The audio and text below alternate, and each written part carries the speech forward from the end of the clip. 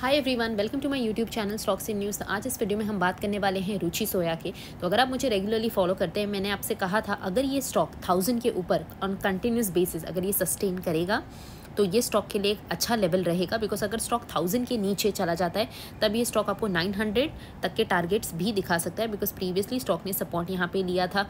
यहाँ पे थोड़ा ब्रेक डाउन हुआ था सपोर्ट का वहीं पर ट्रेल करा था वहीं से थाउज़ेंड के नाइन हंड्रेड के लेवल से सपोर्ट लेके स्टॉक ने एक बाउंस बैक दिखाया था। सो so, जब तक ये स्टॉक थाउज़ेंड के ऊपर है स्टॉक में स्ट्रेंथ है पर्सनली मुझे लगता है कि रुचि सोया आने वाले समय में आपको अच्छा मोमेंटम दे सकता है। अगर stock one thousand one hundred के ऊपर निकलता है तब within a short period of time आप एक सौ रुपये की रैली ये स्टॉक में एक्सेप्ट एक्सपेक्ट कर सकते हैं जिस समवेयर अराउंड ट्वेल्व हंड्रेड अगर स्टॉक ट्वेल्व हंड्रेड के ऊपर निकलता है then sixteen hundred to seventeen hundred तक के टारगेट्स भी आप देख सकते हैं। लेकिन अगर मार्केट में गिरावट होती है तो ये स्टॉक आपको नाइन हंड्रेड तक के लेवल्स को भी रीच करता हुआ दिख सकता है।